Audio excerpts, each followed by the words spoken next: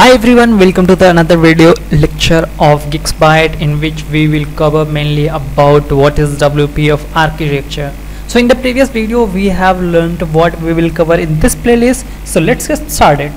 So WPF architecture, if we'll see the below diagram, you will find out there are mainly two components involved in it, WPF layer and operating system layer so WPF layer has uh, two sub layers WPF managed layer and WPF unmanaged layer.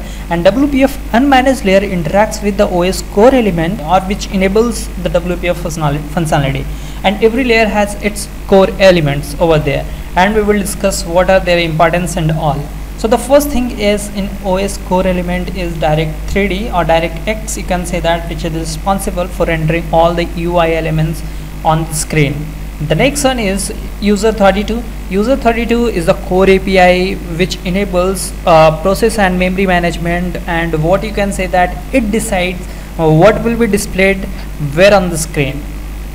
And this is done with the help of GDI and the GDI is graphical device interface which uh, helps to uh, render the GUI on the screen next is the CLR CLR uh, enables or the leverages the functionality or the features of the .NET framework and it executes the CLR and the next element is device driver.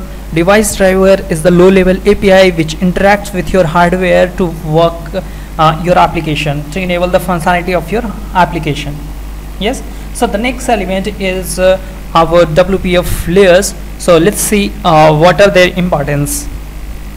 Okay so in WPF architecture we have got two modules managed modules and unmanaged modules. So unmanaged module is the bridge between the WPF layer and the OS layer. So let's get started with managed modules. So in managed modules we have got three elements presentation framework.dll which contains the feature which helps you to build your applications like what is the window what are the panels involved in what are the controls you will use or the style or anything uh, which you want to present to the uh, which will be like displayed to the user.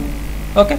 So the next is the presentation core.dll which is the low level api exposed by wpf to enable the functionality of 2d and 3d geometry. So you can uh, render the graphics of 2d as well as 3d in wpf the next one is windows base.dll uh, which contains the reusable components which you can build over the your application which uh, uh, like uh, what are the dispatcher objects and dependency objects. So it uh, it stores the most basic elements of the WPF next one is unmanaged module. In unmanaged modules we have got two elements over there milcore.dll which is media integration layer and windows codec.dll which supports the feature of image processing image display and so on. So in the next video we will see what is the class hierarchy what is dispatcher object and dependency objects in WPF so, so stay tuned. Do not forget to like and subscribe. Bye bye have a good day ahead